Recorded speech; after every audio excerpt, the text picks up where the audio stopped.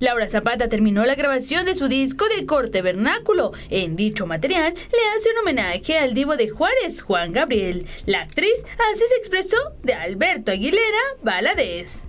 Cuando me hicieron el favor de invitarme a Bellas Artes a cantar pues en esto de, de cenizas de Juan Gabriel, yo dije, híjole, sería padrísimo que estas canciones pues las cantara y las metiera a mi disco.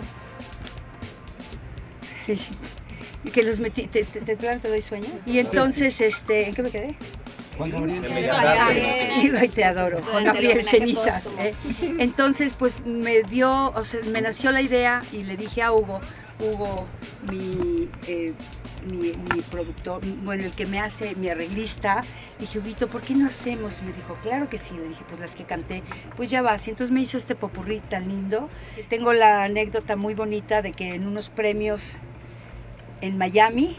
Eh, me, llevó, así me raptó con todos mis hijos y nos fuimos a su rancho de Miami y pues de repente pues te acercas, yo no quería decirlo y entonces se acordó muy bien este señor Aguilera este, me dijo, oiga Laura, mire, él es Iván, aunque lo vio chiquito, porque yo le dije a Juan Gabriel, le dije, Juan Gabriel, es que traigo a mis hijos. Y me dice, ahorita despierto a los míos para que se pongan a jugar Nintendo.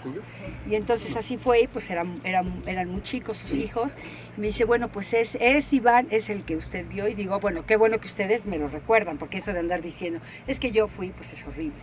Entonces a partir de ese momento ya pude decir y contar la anécdota que yo viví con Juan Gabriel. La actriz esto comentó sobre el pleito que tiene con Yurka Marcos. Las personas sacan lo que son, mi amor. ¿no? Yo abro la boca y sale de mí pues puras cosas lindas, puras cosas hermosas. Acuérdate que de la boca sale lo que tienes en el corazón y lo que tienes en la cabeza y lo que realmente eres tú. Dijiste se sacó, pues sí, las personas nos sacamos como magos de la boca lo que somos, lo que sentimos, lo que hemos elaborado.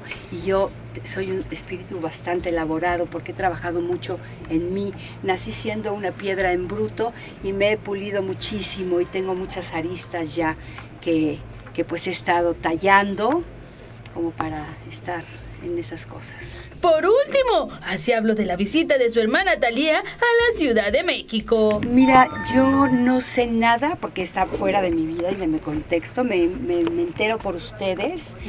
Eh, supe por ustedes que venía, pero en mi casa nunca hubo ni una llamada ni una visita. ¿no? Cada vez que ella ha visitado, las pocas veces que ha visitado a mi abuela, se dirige a mi persona a través de un mensajito y tengo mal el teléfono, pero no tan mal como para no recibir mensajes.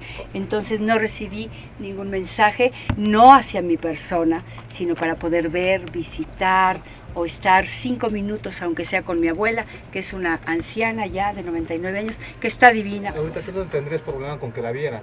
no a ver, a ver, mi amor, no, no, no. A ver, a ver, el problema no es el problema no es si ella me llamó o no me llamó porque yo le abro la puerta. El problema es que ella no llamó ni se acercó.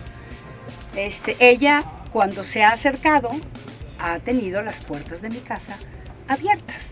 Porque mi abuela, pues, está conmigo, está en mi casa, ¿no? ¿Cómo ven? Doña Eva te preguntó. ¿Dónde está el otro, por favor? Que mi vida. Laura, ha sido duramente criticada. ¿Por quién, Porque eh, utilizó ah. el avión de Donald Trump y en ah, estas cuestiones ahorita es un tema delicado. ¿Tu postura al respecto? Que mello. ¿no? Pues que ella usaba el avión de No, pues de veras. Y, ya llamada Lady. Y lo, y lo confirmaron. ¿De veras? Sí, bueno, son amigos. Son amigos, sí. Bueno, son amigos. Son amigos y ella siempre se ha, eh, ha dicho, ¿no? A estar a favor de los latinos. E incongruente tal vez. Bueno, pues es que no puedes andar en las dos aguas. Con imágenes Giovanni Berrios, informo para la cuchara Ismael Matúa.